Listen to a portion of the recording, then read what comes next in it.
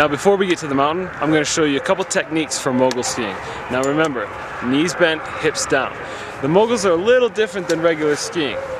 You're going to want to dance with the moguls. So you're going to be going like this, plant shift, plant shift, plant shift, plant shift, over and over again through the moguls. If however you choose to go over the moguls, you're going to go over, plant, shift, weight, turn, plant, shift, weight, turn. That's how you ski moguls.